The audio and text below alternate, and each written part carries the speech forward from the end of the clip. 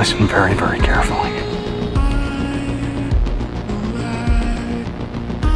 I killed Paul Allen.